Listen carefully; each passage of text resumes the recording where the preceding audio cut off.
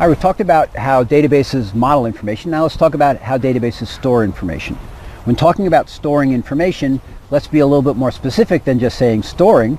Let's say that databases, relational databases in particular, are capable of storing and when they store, they're either adding information, deleting information, or changing information.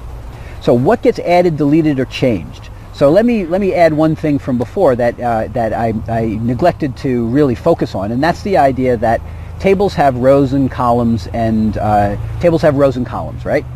In each row is one item of information. So we talked about before that we have information types, information attributes, information values, and information items. The item of information is one row in the database, one row in the table.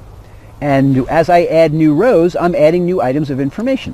So remember we said, for example, that uh, a person in Facebook is an item of information. Your name, your address, your birthday, etc., etc. Now look at that people table. Inside the people table is exactly that same thing. It's one person inside of Facebook.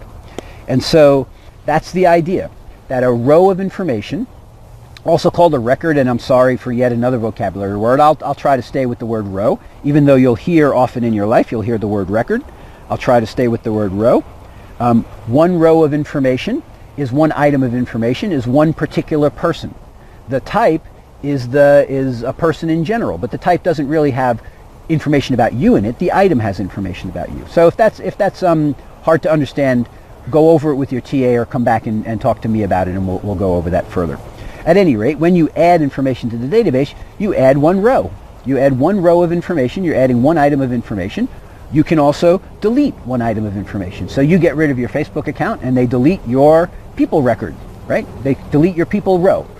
Um, or you can change, or so, so you can either add or delete entire rows, entire items. You can also add or delete values. So I can put, you know, um, I didn't specify my birthday the first time I went into Facebook, and now I go into Facebook and I specify my birthday.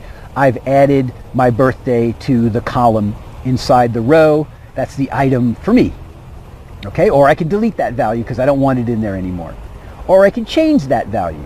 I could go in and change my birthday because I typed it wrong the first time or whatever. Or I change my address because I moved, right? Or I change my current, you know, um, uh, girlfriend because I changed my girlfriend or whatever it is on Facebook. Okay, so um, uh, what we so storing information breaks down to adding, deleting, and changing. You can add or delete whole rows you can add or delete values inside of rows, those columns, or you can just change the column. You can change it from A to B. Okay, and what I have on the screen here is just a little piece of uh, a little piece of some application, a piece of user interface, and that piece of user interface shows this idea of adding, updating, and deleting records.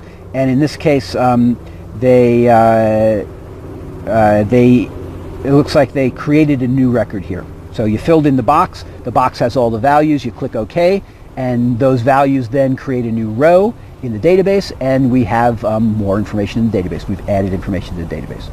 Okay, so databases store information by adding, deleting, or updating that information or changing that information.